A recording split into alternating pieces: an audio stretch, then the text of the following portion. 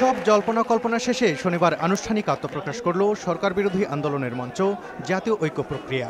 সারা দেশে এই সংগঠনের কমিটি গঠন করে নির্দলীয় সরকারের অধীনে নির্বাচনের দাবি বাস্তবায়নে শিগগিরই বৃহত্তর আন্দোলন গড়ে তোলার ঘোষণা দেওয়া হয় ঐক্যের সমাবেশ থেকে। এতে প্রধান বক্তা হিসেবে দেশের অন্যতম বৃহৎ রাজনৈতিক দল বিএনপির মহাসচিব মির্জা ফখরুল ইসলাম আলমগীর বলেন এই ঐক্য প্রক্রিয়ার মাধ্যমে ডক্টর কামাল হোসেন দিশেহারা জাতিকে পথ দেখাচ্ছেন। যখন একটা মুক্তির পথ খুঁজছে তখন তিনি একটি পথ দেখিয়ে জনগণকে সামনে নিয়ে আসছেন। আমরা আশা করব যে তাদের নেতৃত্বে আমরা অতি দ্রুত আমরা এই সেই ঐক্যকে অর্জন করে আমরা সামনের দিকে নিয়ে যেতে পারব। মির্জা ফখরুলের এই বক্তব্যে ডক্টর কামাল হোসেনের নেতৃত্বে আন্দোলনে যাওয়ার বিষয়টি অনেকটাই স্পষ্ট হয়ে উঠলেও দলের স্থায়ী কমিটির এই সদস্য বলছেন আলাদা কথা।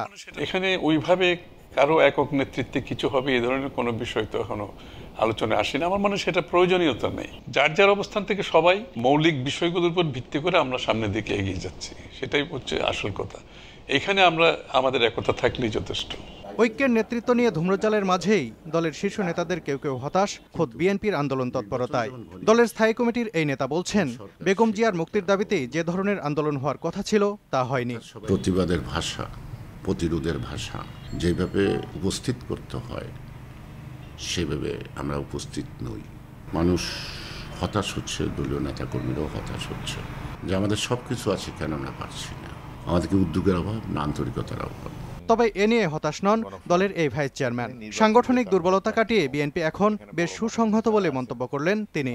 এই দলের কিছু সাংগঠনিক দুর্বলতা ছিল অনেকগুলো জেলা কমিটি ছিল না অঙ্গ সংগঠনের কমিটি ছিল না। বিগত তিন মাসে সেসব দুর্বলতা কাটিয়ে উঠেছে। অধিকাংশ জায়গায় কমিটি গঠন করা হয়েছে। যার ফলে অতীতের যে কোনো সময়ের চাইতে বর্তমানে বিএনপি অত্যন্ত সুসংগঠিত একটি রাজনৈতিক দল। বিএনপির জনপ্রিয়তা ও সাংগঠনিক শক্তি জাতীয় ঐক্য প্রক্রিয়ার কর্মকাণ্ডকে গতিশীল করবে বলে মনে করেন দলের নেতারা। সালাউদ্দিন সুমন, সময় সংবাদ, ঢাকা।